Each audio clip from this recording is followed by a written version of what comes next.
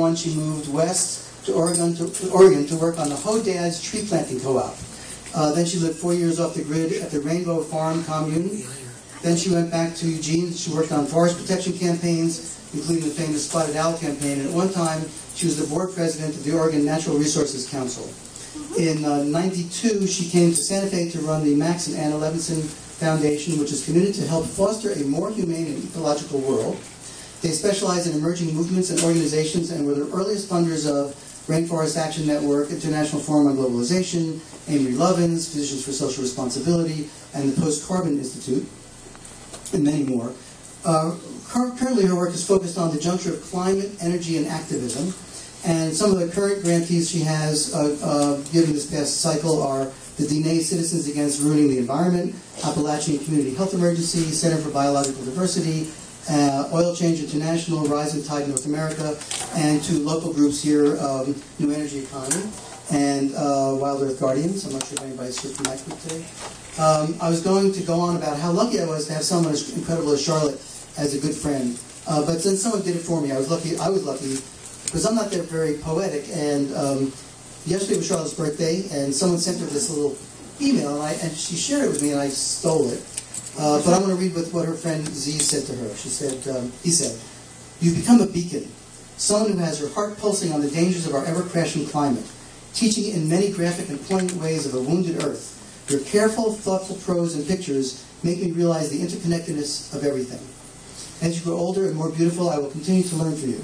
And that is the thrill of knowing you, to have that glorious light shine from your doorway, illuminating the good, the bad, the scary, and the sacred. Uh, I know that some people here are already working on climate issues. Uh, at the end of this talk, we'd like to uh, open up to questions, but also if there are people who are doing some climate work, uh, and Denise and, and Marielle and some other people, um, you know, we want to have a chance for you to, to, to, just tell everybody else what you're doing, and if you need support of any way, uh, you know, that'll be an opportunity for people to kind of connect. Um, we're going to try to do that briefly because we only have till about 12:15. So um, on the 20, uh, on the second day of her new birth year, my raven friend, Charlotte Levinson. Oh.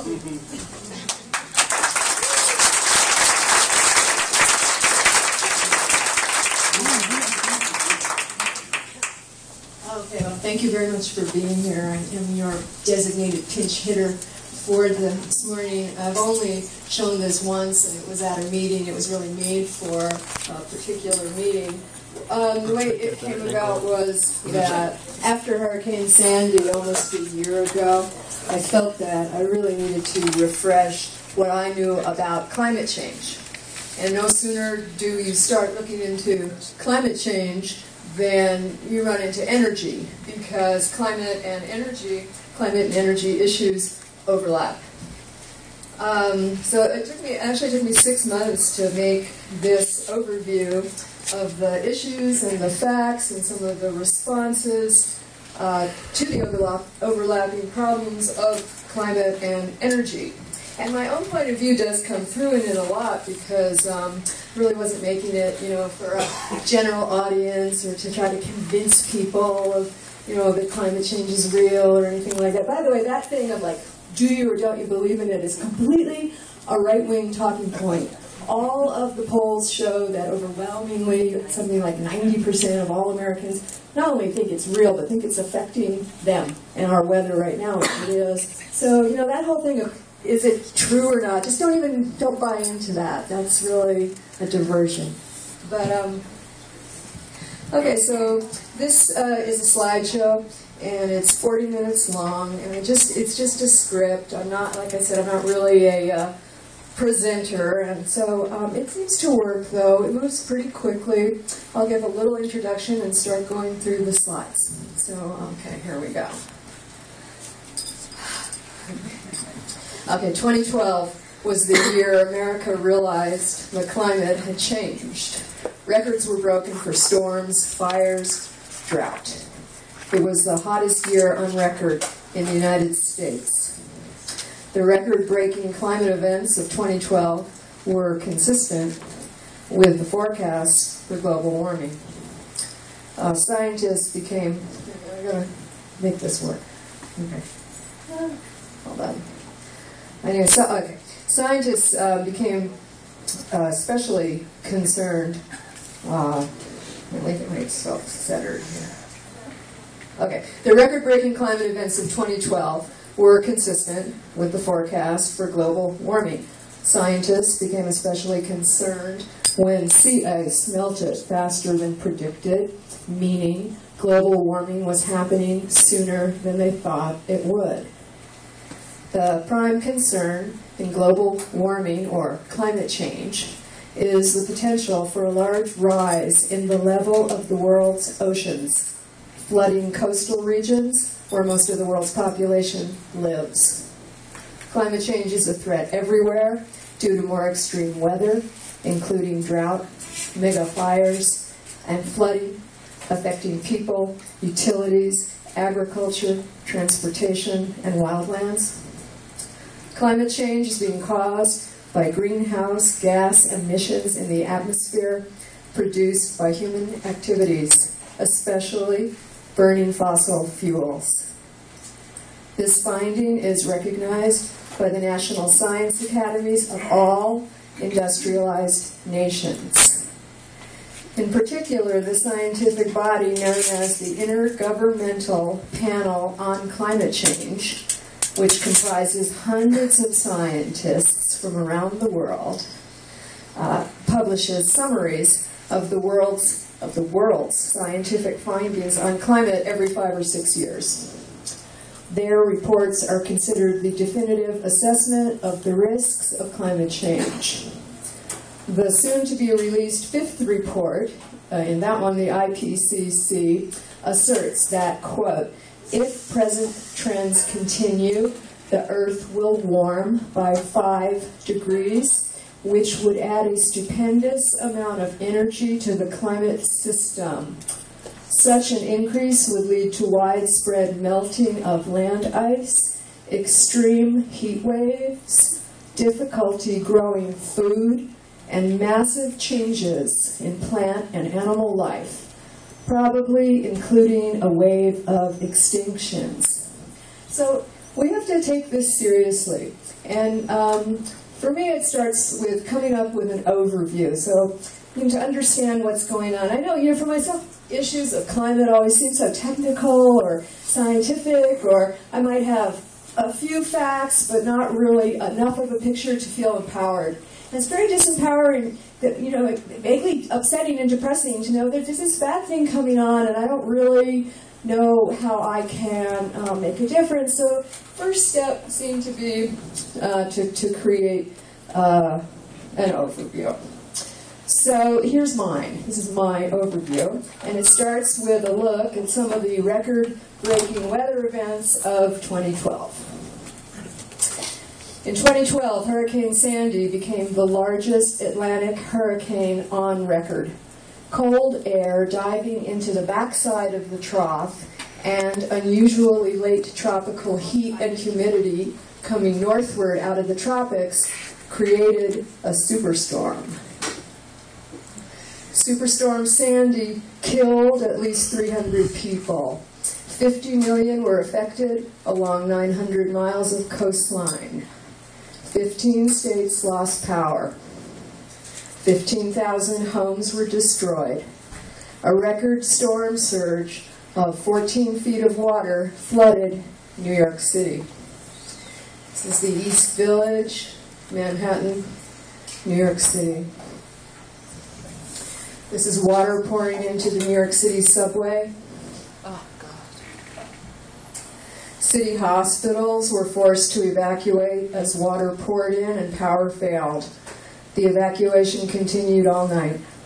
Babies were carried down flights of stairs to waiting ambulances while medical staff breathed for the infants by manually squeezing a bag to drive oxygen into their lungs.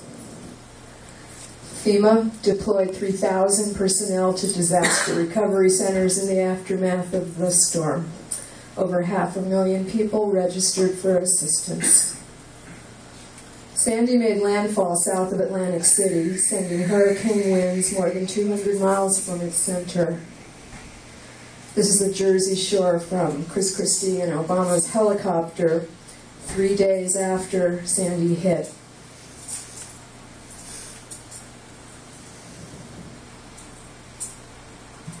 There's still more than a thousand households in temporary shelters. Hurricane Sandy is estimated to have cost at least $75 billion. dollars. 31 million people worldwide were forced from their home by extreme weather events in 2012, according to the Internal Displacement Monitoring Center. Record floods swamped the U.S. Midwest in April 2013. May saw record snowfall. This is Missouri Governor Jay Nixon walking away from floodwaters after meeting with members of the Missouri National Guard in Clarksville. It's Grand Rapids, Michigan. Tens of thousands of people were evacuated from their homes in a region of eastern Germany while the swollen Danube was approaching Budapest, where soldiers and volunteers built flood walls. In India, torrential rains at least three times as heavy as usual hit Hindu shrines and temples built high in the mountains. The death toll there is estimated at 8,000 people. Fire. Wildfires burned a record 9 million acres in the United States in 2012.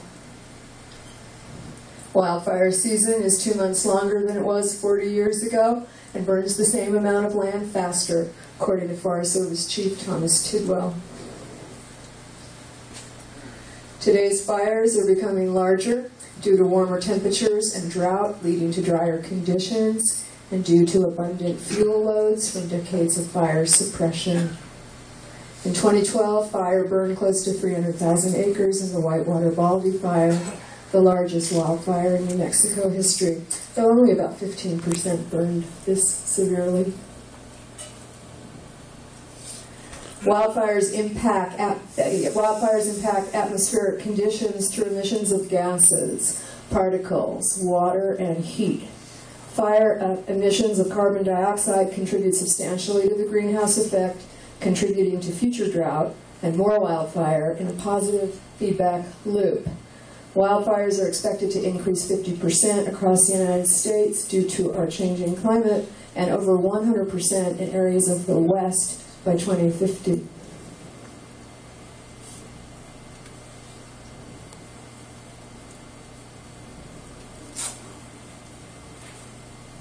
By August of 2012, at least 70 large fires were burning across 13 states west of the Mississippi. Marines, U.S. Air Force Reserve, Air National Guard units were placed on fire duty. In California alone, 8,000 firefighters were fighting a dozen fires. Uh, this is aerial firefighting on the rim fire burning right now in Yosemite from the pilot's point of view in a still from a six minute video posted to YouTube of what it's like flying 150 miles per hour into wildfire to drop retardant. Right now, there's over 50 wildfires burning across the United States, and the nation's firefighters have been placed on a war footing known as National Preparedness Level 5 for the first time since 2008. The Rim Fire, now burning in Yosemite, is the biggest wildfire on record in California's Sierra Nevada. As of uh, Friday, August 30th, it had grown to 200,000 acres 30% contained, 5,000 firefighters, heavy air tankers, Predator drone were all battling the blaze. It's an event I could never have fathomed, said Susan Skalski, supervisor of the Stanislaus National Forest. This fire hasn't behaved like any fire we have seen before here. Like other western wildfires, the Rim Fire has been consistently described as catastrophic, destructive, and devastating. Yet, large, intense fires have always been a natural part of Sierra Nevada and many other forests. Through fire, mature, fire, uh, mature forest is transformed into snag forest, which is abundant in standing fire-killed trees or snags and patches of native fire-following shrubs, downed logs, colorful flowers, and dense pockets of natural conifer regeneration. This is Yellowstone in the spring following the 800,000 acre fire of 88. The problems occur in the uh, urban wildlands interface zone. That massive plume of smoke is the rim fire. that body of water, like in the middle bottom, that body of water is Hetch Hetchy Reservoir, source of water and power for 2.6 million people in the San Francisco area. Governor Brown of California declared a state of emergency because the city's power and water infrastructure are threatened by the blaze. 300 million gallons of water a day are being removed from the reservoir to other reservoirs as a precaution against fire related pollution and because of possible landslides and dam choking debris flows once the rainy season arrives. The city of San Francisco has spent over a million dollars buying electricity from the grid since the fire because two of the three power stations using the reservoir have been damaged. Um, in the United States, the top eight worst wildfire years were all since 2000. National wildfire fighting costs have hit 2 billion annually, it could easily rise to 4 billion.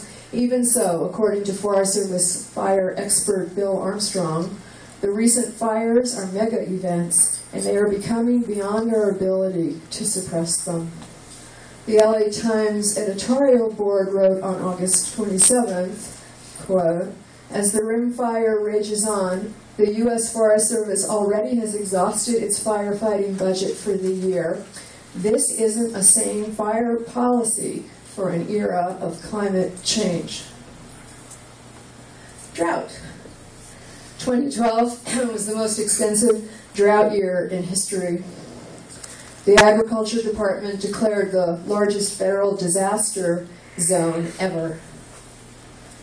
About 80% of agricultural land experienced drought in 2012. Over 2,000 U.S. counties were designated as disaster areas. Parts of the vast High Plains aquifer, once a prodigious source of water, dropped so low that crops could not be watered. Global corn prices surged to all time highs in 2012 as farmers plowed under scorched fields.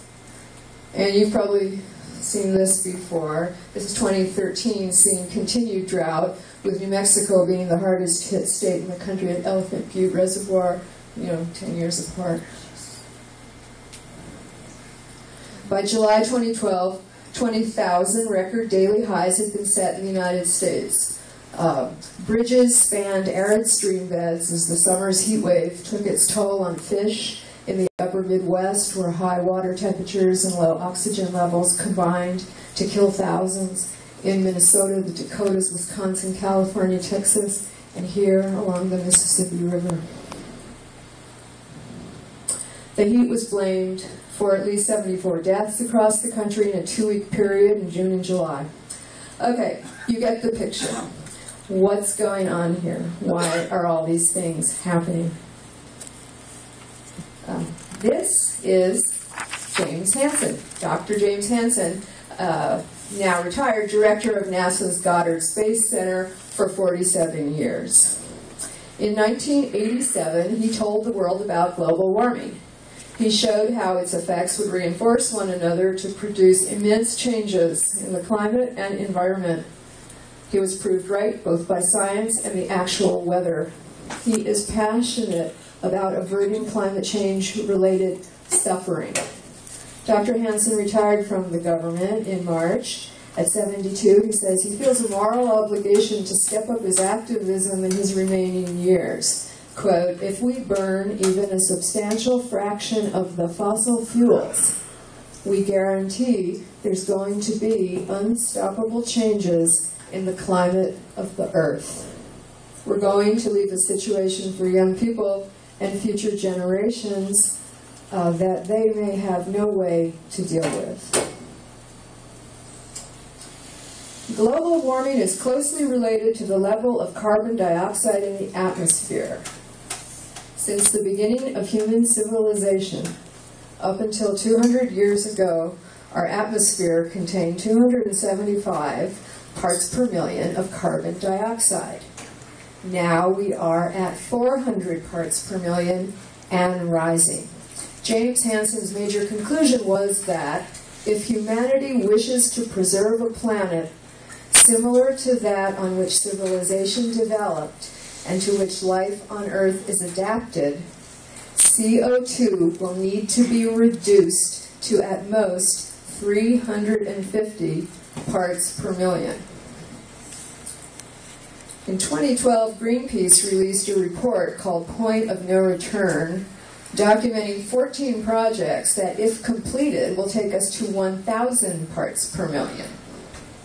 Uh, already at just uh, 400 parts per million, we're seeing increasingly intense storms, sea ice melt, expanding deserts, and extreme fire seasons. Of the 14 projects in this report, four are coal, oil, and gas projects in North America. And critically, in terms of geopolitics, the largest projects are in China, Australia, Indonesia, and Kazakhstan.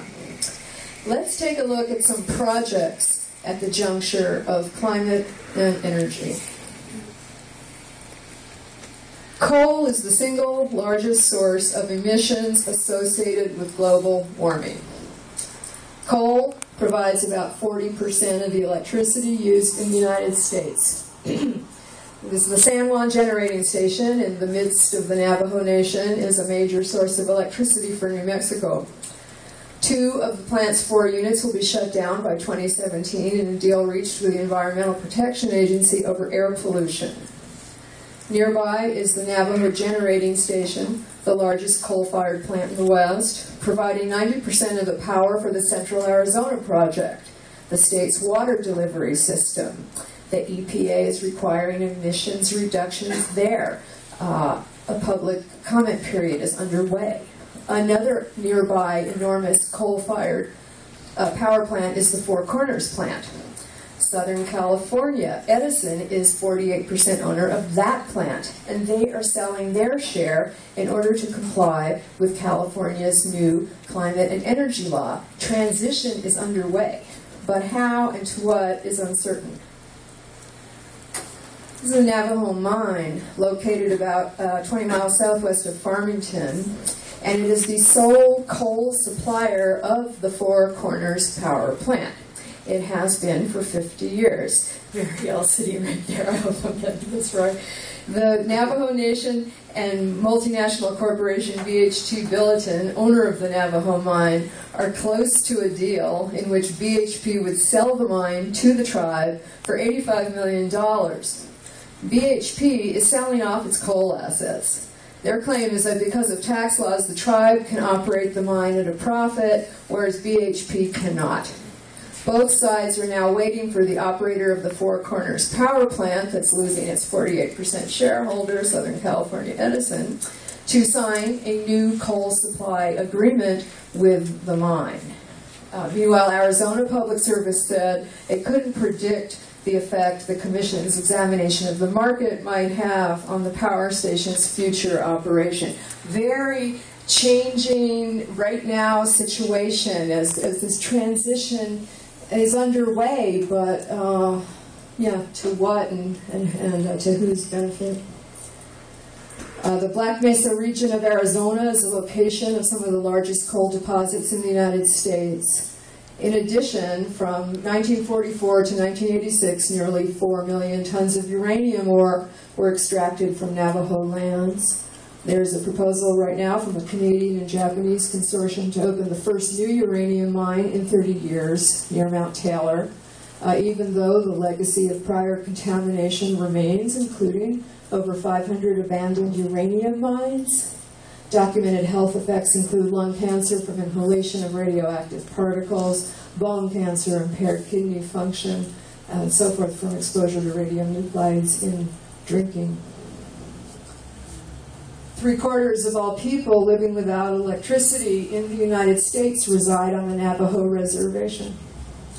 In April, the group Diné Citizens Against Ruining Our Environment presented a petition from women to the Navajo Nation Council stating, we are going to reclaim our minerals, our water, and our destiny for our future generations. As mothers of our great Navajo Nation, we have the right and the obligation to guide and direct the destiny of our nation for future generations.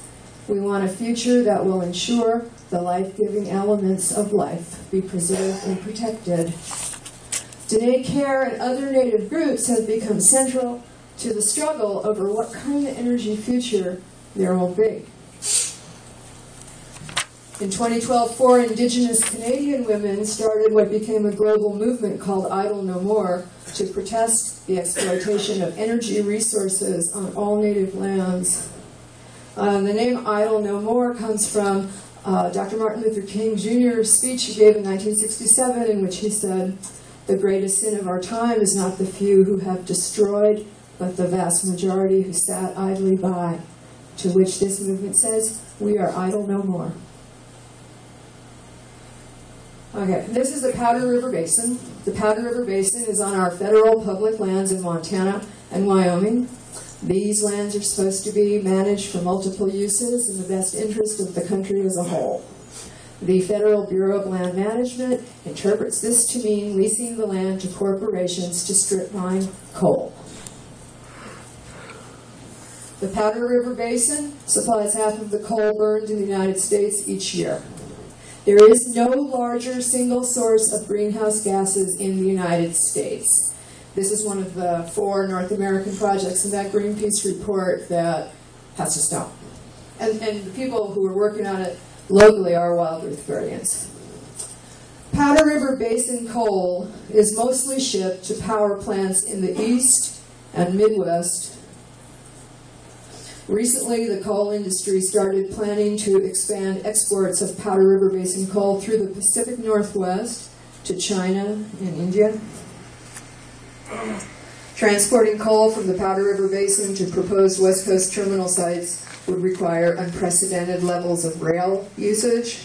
Each terminal would receive approximately 30 miles of coal trains daily Coal would be released into the air, land, and water from hundreds of acres of open, continuously turned over coal heaps at the terminal sites. There are concerns about train derailments, the effects of dust on human health, local water supplies, and the marine environment.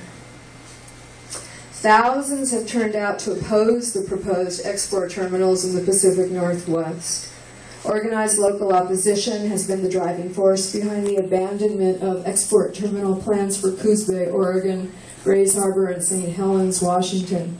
And for the first time in history, on August 22nd of this year, the BLM held a sale for a lease of 148 million tons of, of Powder River Basin coal and received not a single bid. Yeah, that's really good. That's a, real, that's a really huge, huge. Uh, and the, here's a quote from the uh, presumptive bidder, because, well, that's a whole other story.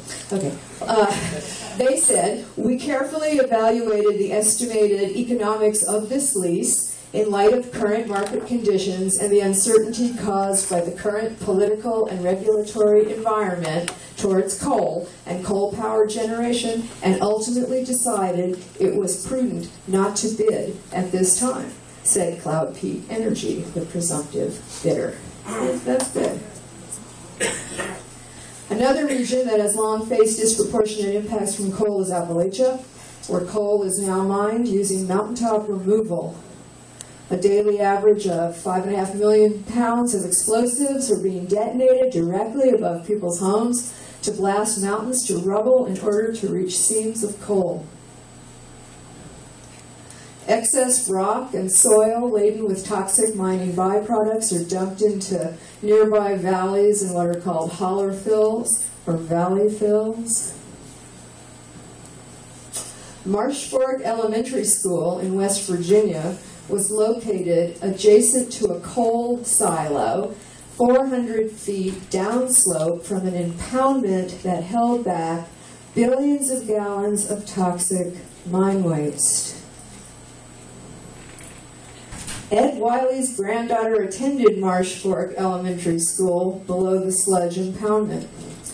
Ed walked 455 miles from Marsh Fork to the steps of the Senate office building to raise awareness about the school's location next door to a coal refuse pond and to build public support for the construction of a new school in a different location. To help pay for a new school, he began a fundraising campaign called Pennies of Promise. Kids all over the country sent in their pennies. And although it took years longer than many would have liked or expected, Parents no longer have to worry about their children playing in the shadow of a coal plant. Massey Energy gave the county $1.5 million to help pay to build a new elementary school. The Appalachian Community Health Emergency Act was introduced in Congress in February 2013. If enacted, it will place a moratorium on mountaintop removal pending the outcome of a federal study to determine the cause of so many abnormal health disparities in mountaintop removal affected communities. Maria Gunnoe, one of the best known leaders working to end mountaintop removal. She lives in Boone County, West Virginia, received the Goldman Environmental Prize in 2009. Bill McKibben is the founder of the grassroots climate movement 350.org. Time magazine calls him the most important environmentalist in the world. They are shown here at the Forward on Climate rally in Washington in February, and you can see um, Robert F. Kennedy Jr. in the background. okay, now that was coal.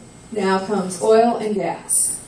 Oil is the primary source of energy worldwide and the second biggest source of, U of U.S. greenhouse gases after coal.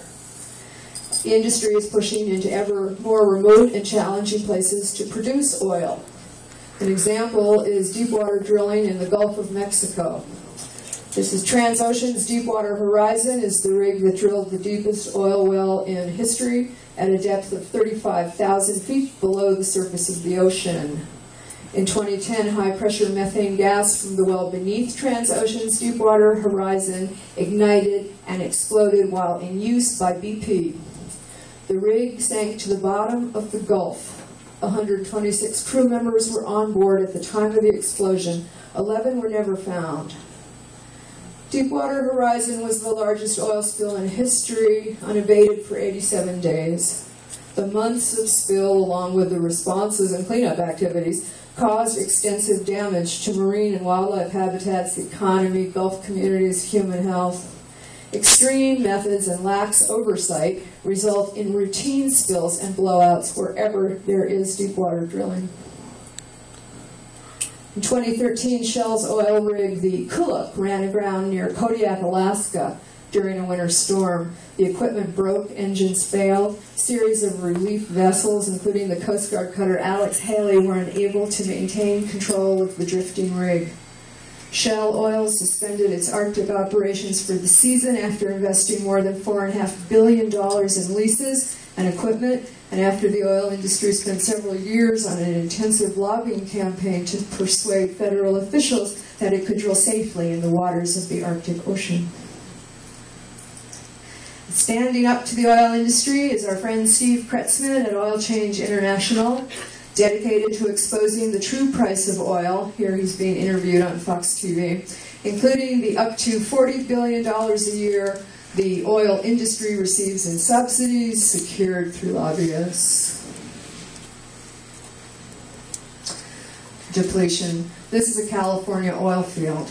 Every gas or oil well Every oil field experiences a similar life cycle. After a well is drilled, extraction ramps up and eventually declines as the well is depleted. The next well is generally a little harder to find and more expensive to produce. Depletion is inevitable. The tall red line on the left tells us that in 1930, in this country, for every barrel of oil used in the extraction process, 100 barrels were produced for use elsewhere. In 2000, one barrel produced 10. That's because the easy to get, close to the surface oil is gone. The expression peak oil refers to the calculations that show that we have already passed the halfway mark, the peak, in terms of extracting oil, and that what is left will become increasingly difficult and expensive to extract. Tar sands have an even lower energy return on energy invested than oil, and solar is catching up. Uh, we live on a finite earth that cannot endlessly give up the raw materials and energy necessary for endless growth and consumption. Ecosystem collapse, toxic pollution, war, and climate change come with our globalized economic system, We need a new paradigm for a new economy and a new way to live. Some believe that natural gas can get us there. It's about fracking. Natural gas is found in deep underground rock formations. Hydraulic fracturing or fracking is the process of extracting natural gas from shale. Water and chemicals are poured down pipes to fracture rock, a kind of pipe bomb. The gas then escapes to be delivered to the surface. Natural gas is used for heating, cooking, electricity, fuel for vehicles, chemical feedstock, and in the manufacture of plastics and chemicals. Gas, or natural gas, is sometimes called a clean fuel because it emits half the CO2 of coal. But when released directly into the atmosphere, methane, the main component of natural gas, is 20 to 30 times more polluting than CO2. James Hansen notes methane regulation has more short term potential to slow climate change than does carbon regulation. Approximately 30% of North Dakota's natural gas production is burnt off in flares visible from outer space. In addition to being inefficient, the carbon dioxide emissions alone are equivalent to the annual emissions of a million automobiles. That's North Dakota. That's as bright as, you know, Dallas or DC and this is a portion of the Bakken Formation in North Dakota. Each dot on the map is a well. Each line is a pipe. The prairie is being carpet bombed for energy.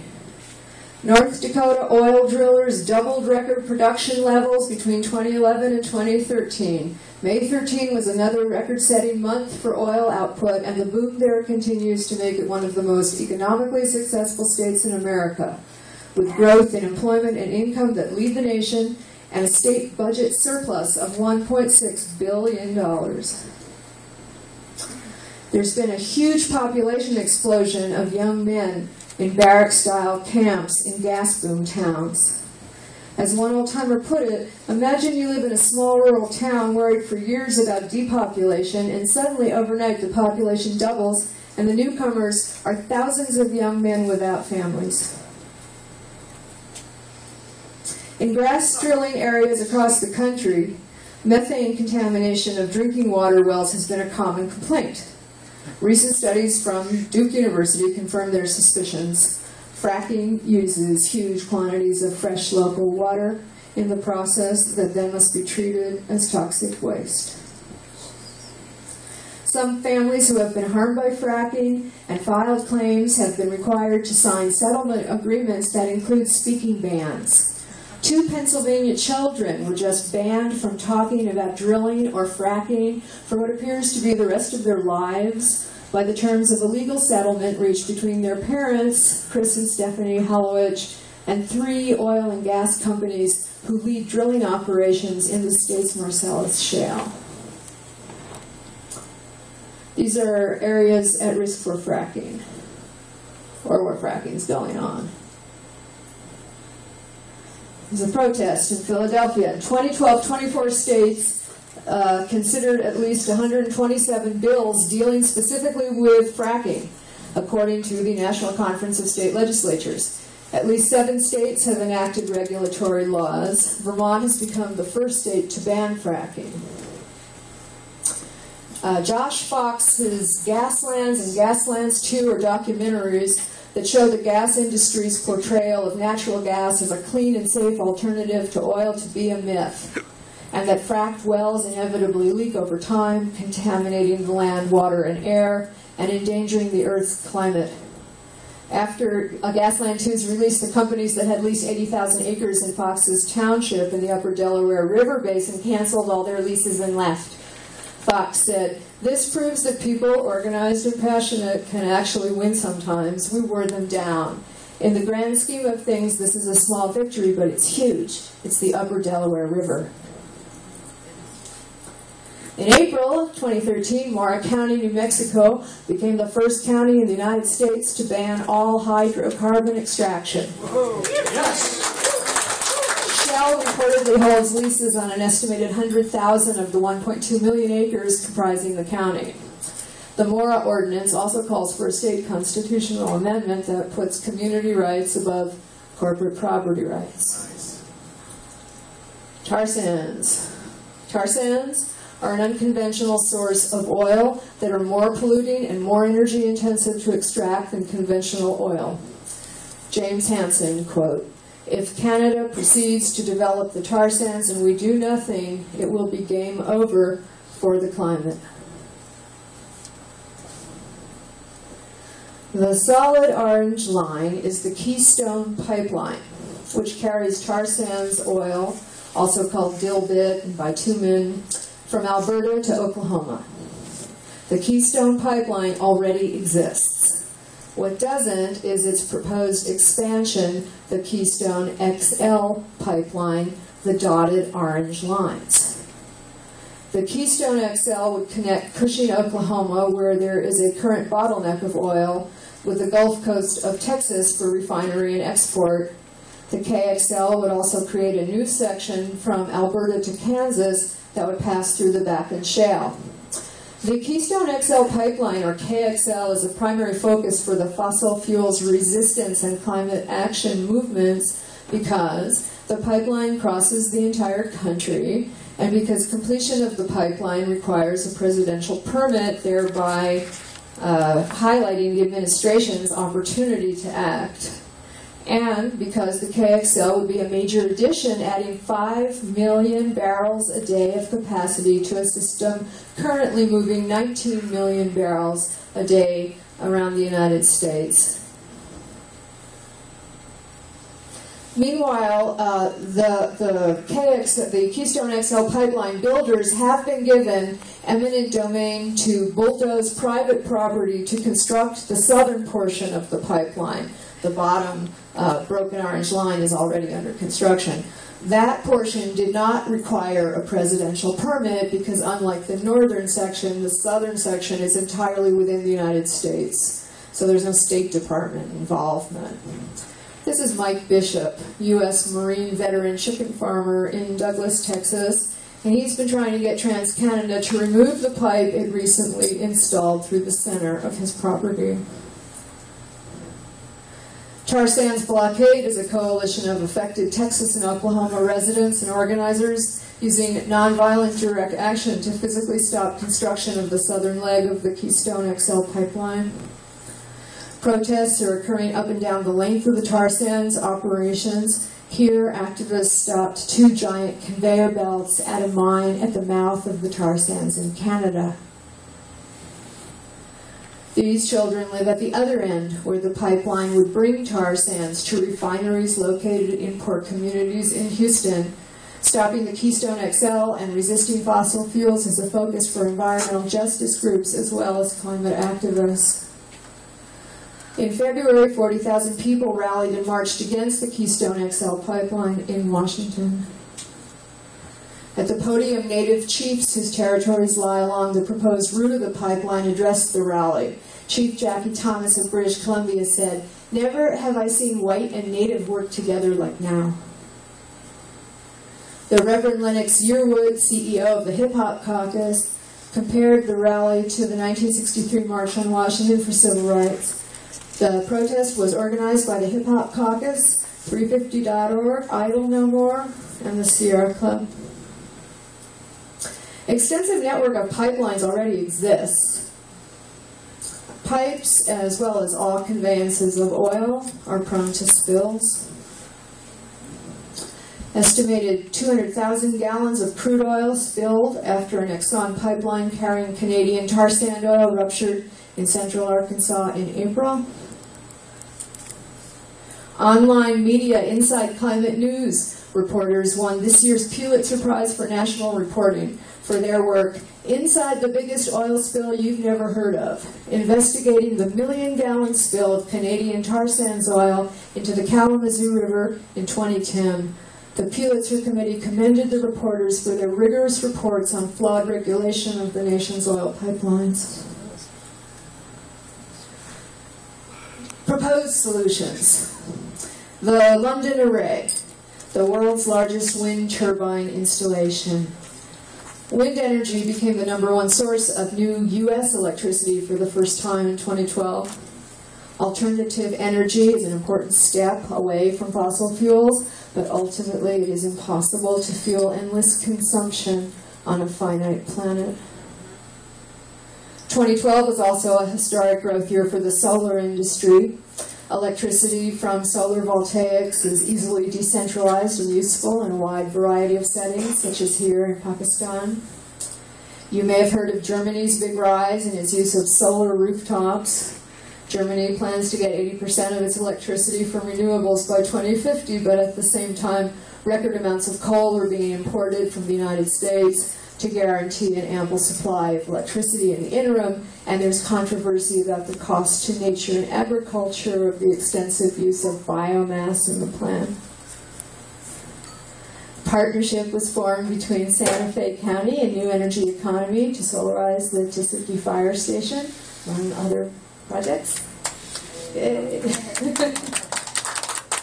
In general, there are two different strategies when it comes to dealing with climate change. We can try to stop future warming, called mitigation of climate change, or we can find ways to live in our warming world, called adaptation to climate change. Adaptation involves developing ways to protect people and places by reducing their vulnerability to climate impacts. An example of adaptation would be communities building seawalls to protect against sea level rise. Another example of adaptation is to relocate to higher ground. Mitigation involves attempts to slow the process of climate change by lowering the level of greenhouse gases in the atmosphere.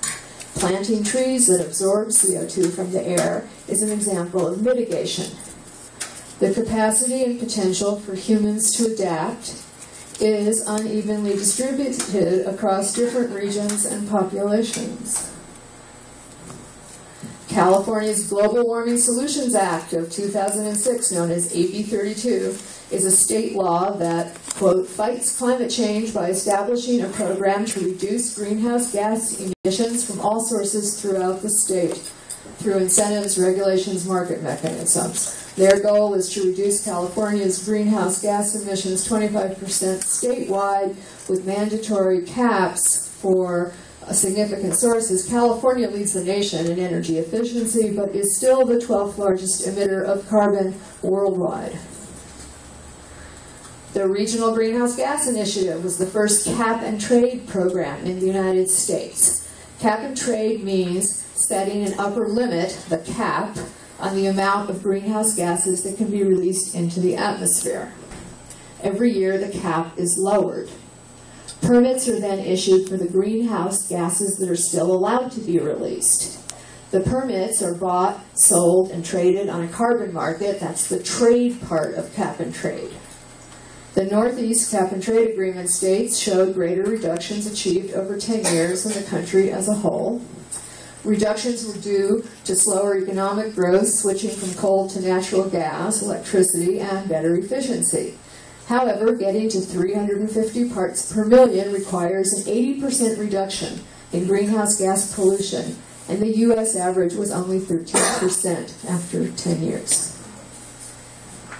There's a revival of interest in small and simpler units for generating electricity from nuclear power. The federal government has put up half a billion dollars in development subsidies for small modular nuclear reactors. Many are in development, none have been built. Some scientists, notably Dr. Hansen, are very much in favor of SMRs, which are safer on paper than conventional nukes. Energy expert Amory Lovins believes that they will never be cost competitive and that any money spent on them is money that would have gone farther toward preventing carbon emissions if spent on energy conservation, wind, or solar. After a three-year campaign by tens of thousands across Los Angeles, Mayor Antonio Villaraigosa joined Sierra